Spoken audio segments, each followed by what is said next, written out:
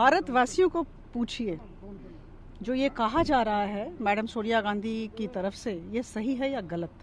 भारतवासियों ने जिस तरह से मोदी जी को सपोर्ट किया है और कर रहे हैं और करते रहेंगे, ये इस बात का द्योतक है कि ये बहुत लोकप्रिय हैं और जितना भी अभी हिस्टोरिक डिसीशंस लिया गया है, अभी दो महीनों में संसद के अंदर मुझे लगता है ये उनके बलिष्ठ नेतृत्व का परिचायक है और इस बात का परिचायक है कि हम लोग सब लोग उनके साथ हैं भारतवासी उनके साथ हैं और ये सारे डिसीजंस राष्ट्र के हित में हैं।